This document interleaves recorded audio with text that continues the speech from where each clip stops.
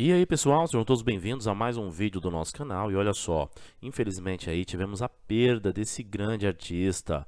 E aqui viemos trazer uma pequena homenagem a ele, Jô Soares, que nos últimos dias de sua vida, longe dos holofotes, vamos saber como ele estava vivendo esses últimos dias. E também a propósito, ele tinha até uma capela privativa.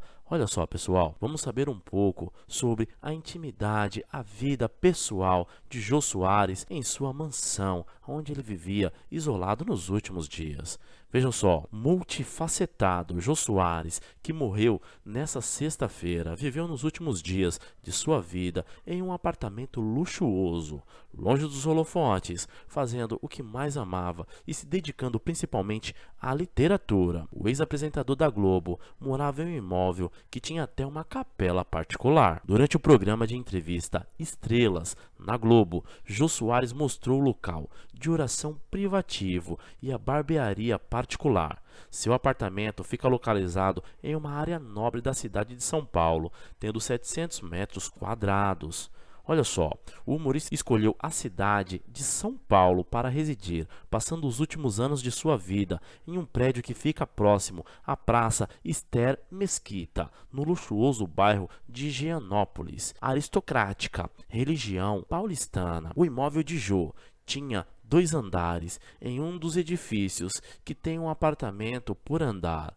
Em um deles estava a sua moradia e no outro ficava o amplo e moderno escritório, com direito a um ateliê de artes plásticas. Olha só, além disso tudo, em seu luxuoso imóvel, Jô Soares viveu os seus últimos dias fazendo o que mais gostava, ler, escrever e assistir a filmes. Além de consumir esses produtos do entretenimento, ele passava o tempo falando com amigos pelo celular. A decoração do apartamento misturava diversos estilos, desde uma poltrona feita somente de bichinhos de pelúcia, a uma tela com uma arma de fogo. Havia itens clássicos, como sofá na cor branca, paredes com madeira e um cobiçado piano de cauda preto.